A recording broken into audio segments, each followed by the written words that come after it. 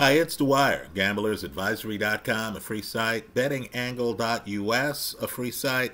It's February the 8th, 2024. Teofimo Lopez has just been awarded the decision over Jamaine Ortiz. Right? Two judges had the fight 115, 113 for Teofimo. The other judge had Teofimo winning by more than that. Now, I'm sore right now very sore. I thought the scoring was a travesty.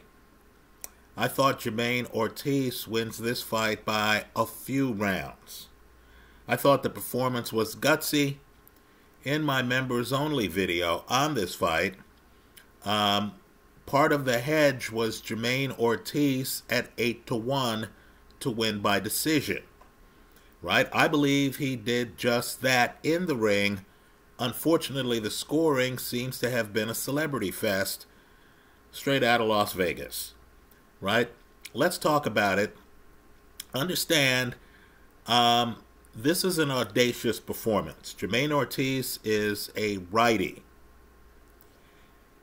He studied the film, it's clear. No one's going to tell me otherwise. He studied the film and he understood that there is a blueprint fight. Another guy who got ripped off fighting Teofimo Lopez.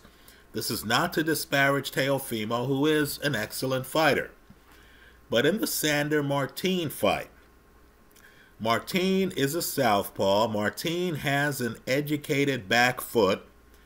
Martin is pumping a jab on his back foot. He's catching Teofimo on the way in and he's turning Teofimo. In other words, as Teofimo comes up to him, he's able to pivot outside of the pocket, right? He keeps a pocket from forming. Teofimo, at the end of the day, is more comfortable with a pocket. He's more comfortable as a counterpuncher. As a lead puncher, where he has to come find you, where he has to try to cut off the rein, he isn't the same fighter.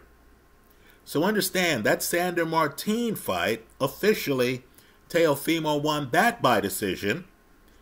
Right? I'm just telling you, I thought Sandor Martin won that fight. There is a post fight video that I made that's here online talking about the fact that Sandor Martin won that fight. Right? Certainly exceeded everyone's expectations. Then, of course, Teofimo fights another lefty, Josh Taylor. Now, Josh Taylor is just too much into fighting, not boxing. Right? At the end of the day, boxing's a craft. You have to check your ego at the door. You have to do what's effective. You can't let some smug opponent who's daring you to jump in the pocket and trade get you to jump in the pocket and trade, right? That's where Teofimo is at his best. Josh Taylor, unfortunately, and you saw this in the Jack Catterall fight, needs to prove he's alpha, even when it's to his detriment. So he's the southpaw who jumps in the pocket, trades with Teofimo, gets caught with great counters, right? Teofimo, when you're pursuing him, is a handful, especially when Teofimo is the shorter guy and he can actually bend and get underneath you. Now, this fight, you had an audacious performance. It was a winning performance on my scorecard. You had righty Jamaine Ortiz, and he's ambidextrous. But understand, he's a natural righty. He fought Teofimo in the amateurs in 2015 and lost to Teofimo. Right here he is against Teofimo, who's a devastating counterpuncher, and he decides he's going to channel the most successful fight against Teofimo, right? It's even more successful to me than the George Kambosos fight. And that's that Sandor Martin fight. So Jamaine Ortiz goes southpaw. He stays in the middle of the ring. He's shooting a jab. He's rarely over by the side. When Teofimo gets too close to him, he clinches Teofimo. right, doesn't want to have a fight break out. He wants to keep it a boxing match. Timothy Bradley does an excellent job on the telecast talking about how Ortiz always slides to his right to get away from Teofimo Lopez, who, on his front foot, is not adept, doesn't know how to cut off the ring. Understand the foot speed gap between the guys here is profound. Now, on the telecast, we keep hearing about what a great athlete Teofimo Lopez is, right? The commentators keep saying, "Oh, he's twitchy," right? You know, he's he's a great athlete, folks. Part of athleticism are your legs. There is a huge, and I mean, it's the story of the fight. There is a huge foot speed gap here. It's huge. Now, truth be told, I thought the, the likeliest outcome was going to be Teofimo by KO. I didn't think Jamaine Ortiz, who ends up trading against Lomachenko, right? Ortiz jumps out to a lead in that fight and then is hanging around the pocket too much against a shorter opponent. Right? Doesn't stay on his back foot outside the pocket to win the fight by decision.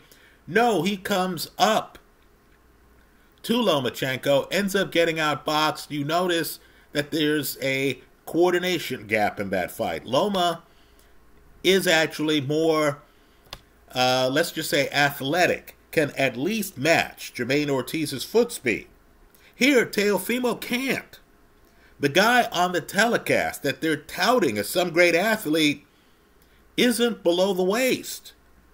He doesn't have the rhythm to run over against a mobile back foot opponent and cut off the ring. He couldn't do it against Sandor Martin. That fight went the distance. He couldn't do it here against Jamaine Ortiz. So understand, there's a guy, Mark Kriegel, on the telecast. He's scoring the fight. He's ESPN Plus's version of Harold Lederman, if you remember the scorekeeper from the HBO days. And they go to him, and he correctly has Jamaine Ortiz winning the fight for most of the fight. Right? Understand, this is a low volume affair.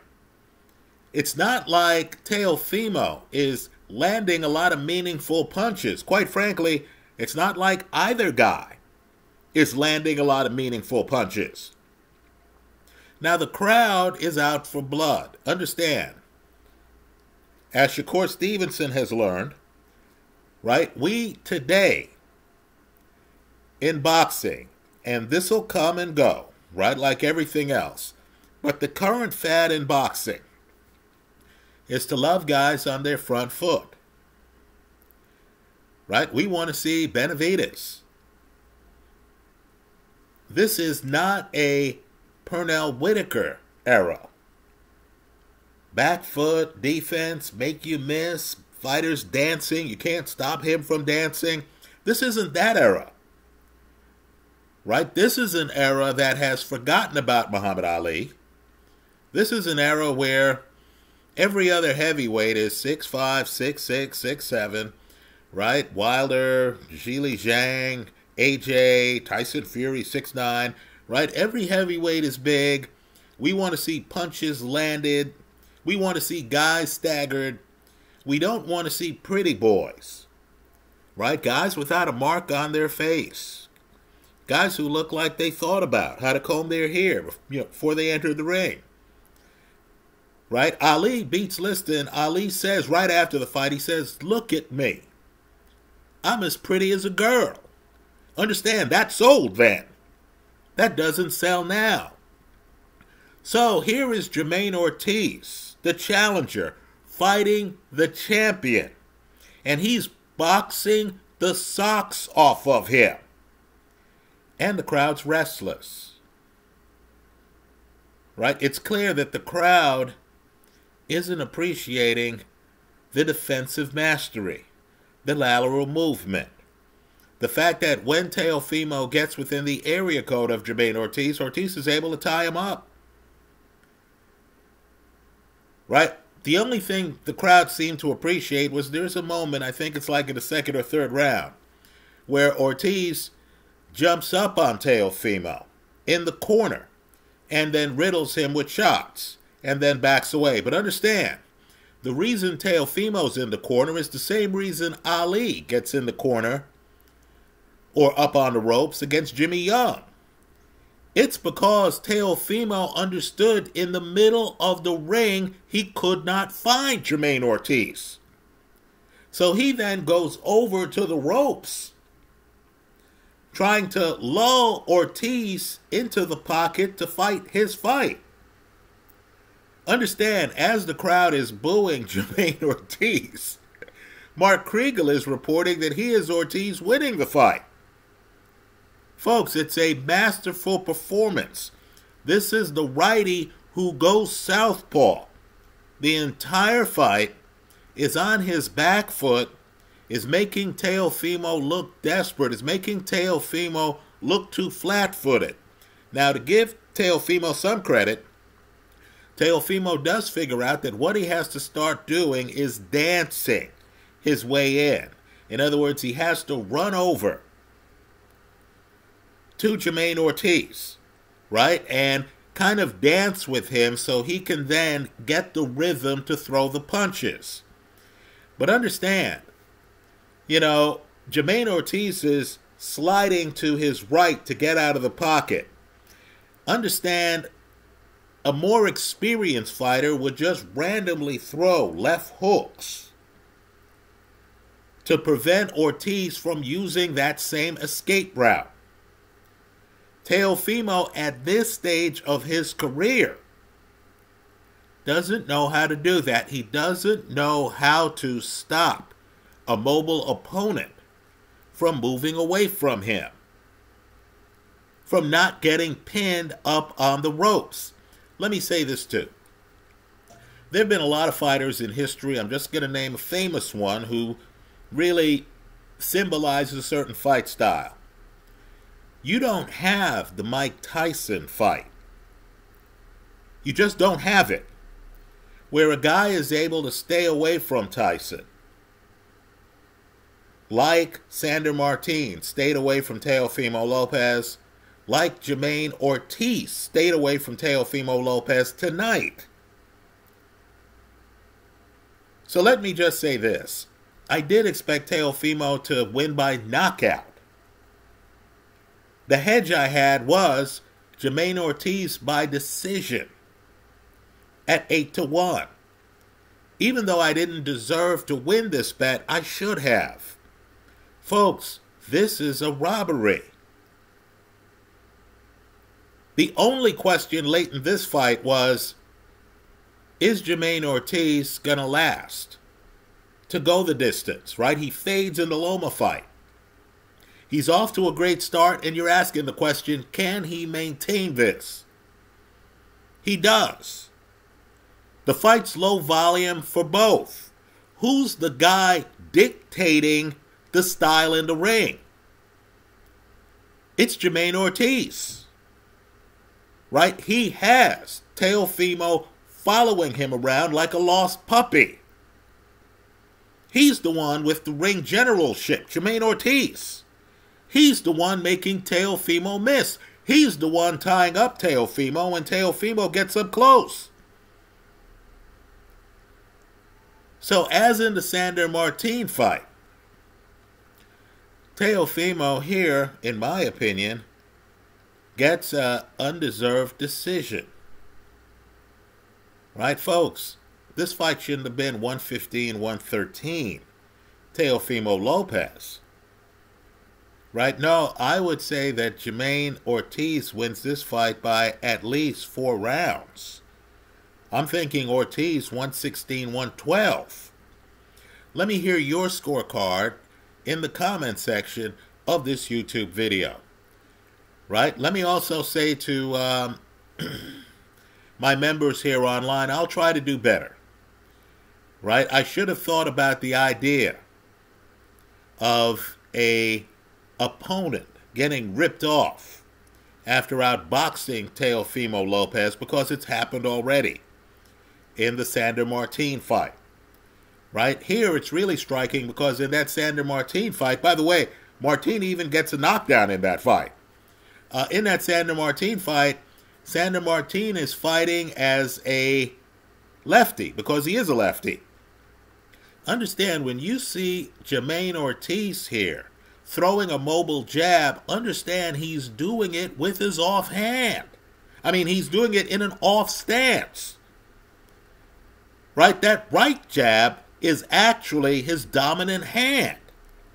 And he's fighting a champ, again, in an off stance. And he has Lopez completely befuddled to the point where Lopez, in the middle of the fight, is motioning to the crowd. He's motioning to uh, Ortiz to come fight him. Right? Understand, that's how much the fight had gotten away from the pocket centric fight that Lopez wanted. Right? So I'm going to boo the judges here.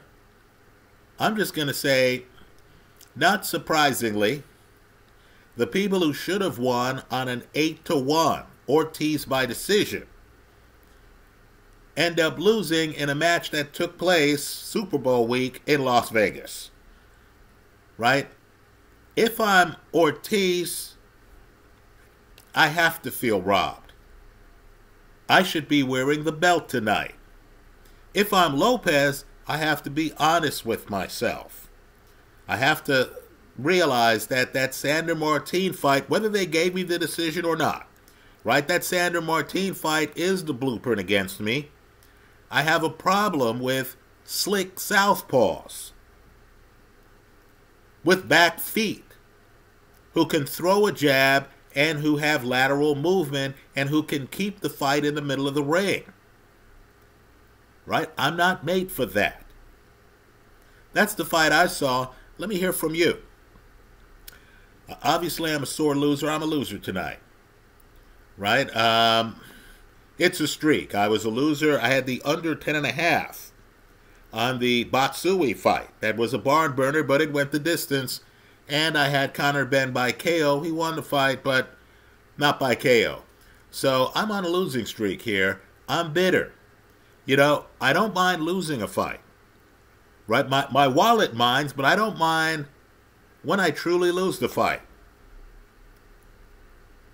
I thought I should have won tonight. That's how I see it. Let me hear from you. If you're a Teofimo Lopez fan, if you believe he won the fight, and you want to point to parts in this fight that you feel he dominated, go ahead and do so in the comment section of this video. Understand the best thing to happen for Lopez in this fight was a headbutt. That's how Ortiz gets badly cut. Understand at that point, Ortiz is winning the fight and starting to pull away. Then he gets a headbutt that leads to a cut in a bad place.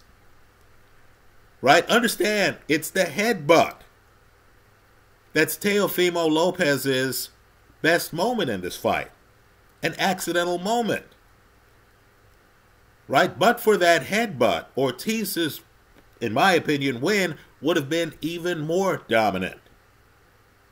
That's the fight I saw. Let me hear about the fight you saw in the comment section of this YouTube video. Thanks for stopping by.